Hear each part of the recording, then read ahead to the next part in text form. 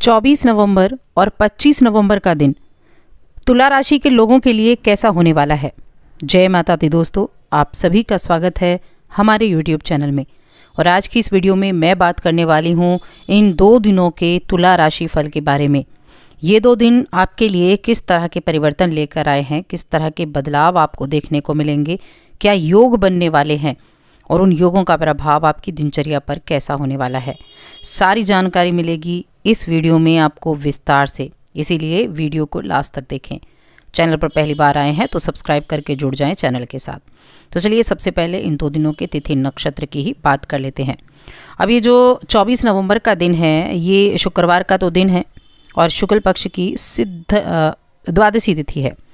इस दिन रेवती नक्षत्र है, एक शुभ नक्षत्रों की श्रेणी में आता है और देखिए सिद्धि योग के साथ दिन की शुरुआत होगी। हालाँकि ये योग बनेगा सुबह नौ बजे तक ही।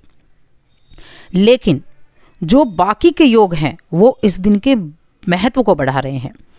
एक तो चंद्रमा इस दिन राशि बदलकर मीन राशि से मेष राशि में आ जाएँगे। अब मेष राशि में गुरु, बृहस्पति विराजमान है।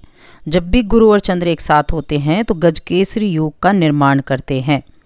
अब गज केसरी योग बनने वाला है इस दिन, और इस योग का जो प्रभाव है, वो बहुत ही शुभ आपको मिलेगा। इसके अलावा सूर्य तो विराजमान ही है आपके यहाँ द्वितीय भाव में। और वो भी मंगल के साथ बैठे हुए हैं। अनुराधा नक्षत्र में। अब बाकी के योगों की अगर हम देखें तो देखिए इस दिन पूरा दिन सर्वार सिद्धि योग बनेगा और पूरा दिन अमृत सिद्धि योग भी बनेगा। यानी ये दिन योगों से भरपूर आपके कामकाज के लिए बड़ा शुभ है। अब 25 नवंबर का जो दिन है तो वो शनिवार का दिन है और शुक्ल पक्ष की त्रयोदशी तिथि है। अश्विनी नक्षत्र रहेगा और योग जो बन रहा है, वो कुबेर का योग बन रहा है। और कुबेर क्या है? धन के स्वामी हैं। उनका योग आज बना हुआ है पूरा दिन। चंद्रमा मेष राशि में ही है तो गजकेसरी योग भी है। सूर्य वृश्चिक राशि में है, मंगल के साथ, बुध के साथ। इसके अलावा बना है रवि योग। तो ये है हमारी ग्रहों की स्थिति। अब इसी के आधार पर चलिए जान लेते हैं, ये दिन आपको कैसे लाभ देगा, किस तरह के रिज़ल्ट आपको देगा। तो देखिए, मेष राशि के जो चंद्रमा होते हैं, वो आपको थोड़ा सा मूडी बना सकते हैं। 24 नवंबर की हम बात कर रहे हैं। और आप क्या करेंगे, आपका मूड ना ऐसे बदलता रहेगा। कुछ बेचैनी हो, लेकिन आप अपने मूड को फिर भी ठीक करने का प्रयास करेंगे।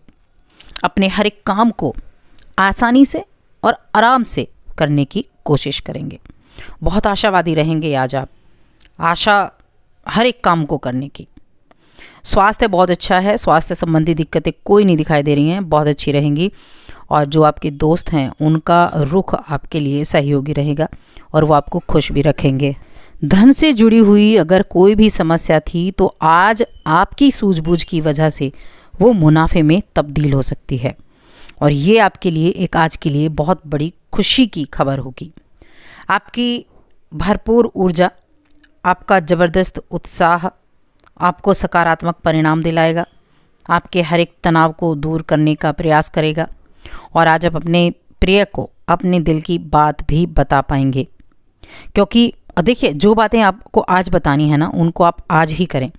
कल बहुत देर हो जाएगी, कल किसी ने नहीं देखा, इसलिए कहते हैं कि जो आप काम आज कर रहे हैं, उसको आज के लिए ही, आज ही उसको पूरा कर डालें।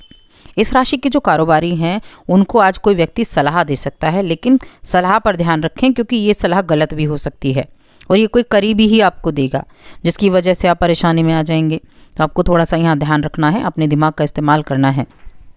जो जॉब करने वाले जातक हैं, आज उनको अपने कार्य क्षेत्र में ठीक ठाक दिन रहेगा।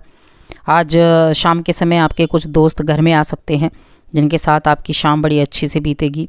लेकिन आप अल्कोहल वगैरह रहते हैं, लेते हैं तो उनसे आपको आज दूरी बनाकर रखनी होगी। आज का दिन धन संपत्ति के मामले में अच्छा है। और साथ में आपकी पारिवारिक स्थितियों के हिसाब से भी आज का दिन अच्छा होने वाला है।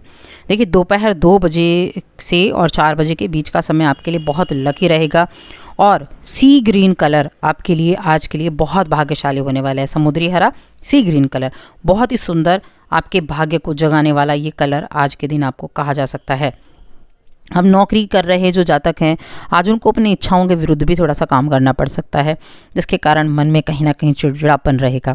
लेकिन इस चिड़चिड़ेपन को दूर करें और काम की तरफ़ ध्यान दें। पैतृक संपत्ति मिलने की प्रबल संभावनाएँ आज बन रही हैं, और संतान पक्ष की तरफ़ से की गई कोई कार्य आज आपको सराहना दिला सकता है। ये प्रेम जीवन की देखिए बात की जाए तो आपके जो एक्स हैं, उनको भूलकर आप नए प्रेम और विश्वास की नींव पर एक नए रिश्ते को शुरुआत कर सकते हैं। तो उसके लिए अच्छा है, बाकी तो दिन जो है वो उत्तम रहेगा। योगों की अगर मैं बात करूँ तो देखिए गजकेसरी योग जो है गज की ताकत रखने वाला होता है। और जब भी चंद्र और गुरु साथ होंगे तो वो पैसे की आवक को बढ़ाने का कार्य करते हैं। और सर्वार सिद्धि योग, काम को सिद्ध करते हैं, साथ में अमृत सिद्धि योग भी हैं। इन योगों का प्रभाव पूरे दिन रहेगा। अगर आप अपने काम पर पूरी तरह से फोकस करते हैं तो निश्चित रूप से आपको ज़्यादा लाभ देखने को मिलेंगे। अब बात करेंगे हम यहाँ पच्चीस नवंबर के बारे में। तो 25 नवंबर का जो दिन है इस दिन योग कुबेर का योग बना है जो भगवान कुबेर है क्या है? धन के स्वामी हैं। और आज का दिन आपके लिए आ, किसी बहुमूल्य वस्तु की प्राप्ति का दिन है। या फिर किसी ऐसी ही संपत्ति की प्राप्ति का दिन है, या इस तरह के कुछ इन्वेस्टमेंट का दिन कहा जा सकता है। यानी आपकी आर्थिक स्थिति किस तरह से स्ट्रांग हो सकती है, ये आज के दिन भी आपके लिए बहुत डिसाइड करने की बात होगी। व्यापार में यदि आप कुछ योजनाएँ, परियोजनाएँ शुरू करना चाहते हैं तो उसमें भी आपको भाग्य का साथ मिलेगा। नौकरी पेशा लोगों को उनके मन मुताबिक काम भी मिलेगा जिसके कारण वो प्रसन्न रहेंगे। यदि शाम के समय आप किसी यात्रा पर जाने के बारे में सोच रहे हैं तो उसे स्थगित कर दें क्योंकि आ, वाहन की कुछ खराबी हो सकती है ऐसा कुछ हो सकता है हो सके तो आप कर सकते हैं। दाम्पत्य जीवन में मधुरता बढ़ने वाली है। और लव बर्ड्स प्रेम के एक बेहतरीन क्षण के साथ आज का दिन गुजारेंगे। आज आप अपने साथी के साथ ज़्यादा से ज़्यादा समय व्यतीत कर पाएँगे। फ़िल्म देखने की प्ला, प्लानिंग कर सकते हैं या फिर आप डिनर का प्लान भी कर सकते हैं। तो ये चीज़ें भी आपके लिए आज बड़े अच्छे से होती हुई दिखाई दे रही हैं। और इसके अलावा देखिए आज ना कुछ आपका किया गया निवेश आपको काफ़ी फ़ायदा पहुँचा सकता है। नौकरी वर्ग के जो जातक हैं इनकम में वृद्धि होने का भी योग बना हुआ है। आ, समाज के कार्यों में भी आप बड़े उत्साह पूर्वक तरीके से भाग लेंगे। और जो अविवाहित हैं वो मेट्रीमोनियल साइट्स पर भी साथी की तलाश कर सकते हैं। तो दिन में कई सारी चीज़ें आज बड़े अच्छी रहने वाली हैं और ये हम ये कह सकते हैं कि आज का दिन आपके जीवन में खुशियाँ लेकर आने वाला है और कुछ खास मित्रों को भी आज बना सकते हैं। यानी कुछ खास मित्र भी आज आपके बनते हुए दिखाई दे रहे हैं। आज आपको कोई भी आपका काम चल रहा है और वो बड़ा धीमा चल रहा है तो आप परेशान ना हो क्योंकि ये समय बहुत जल्दी बीतेगा और आप अपनी मेहनत कर रहे हैं। उस मेहनत का रिज़ल्ट जो है, वो आपको आने वाले दिनों में जल्दी ही मिलने वाला है। और स्टूडेंट्स के लिए ठीक ठाक दिन रहने वाला है। अब उपाय की बात कर लेते हैं, क्या उपाय आपके लिए उत्तम रहने वाले हैं?